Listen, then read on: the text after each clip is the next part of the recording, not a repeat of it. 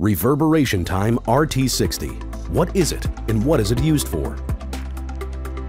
RT60 reverberation time is the main room acoustic parameter. Following ISO 3382, it is the duration required for the sound energy in a room to decrease by 60 decibels after the source emission has stopped.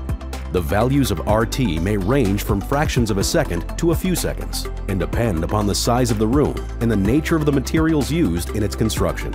Designing a reverberation time for your room, it is important to consider what use you will make of the space. Speech and the music become less understandable and background noise levels increase when the reverberation duration is too long. Shorter reverberation times reduce background noise but muffle voice and music.